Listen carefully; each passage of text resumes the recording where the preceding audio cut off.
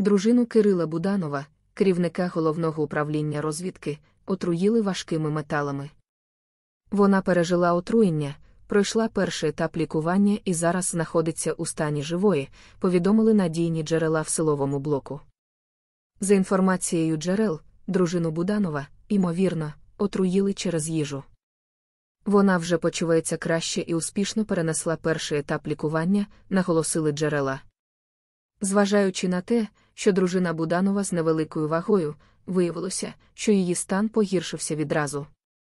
Також отруєння підтвердилося в кількох інших працівників, які, виявляється, взагалі не помітили ніяких поганих симптомів, і вони також отримують лікування, повідомили джерела.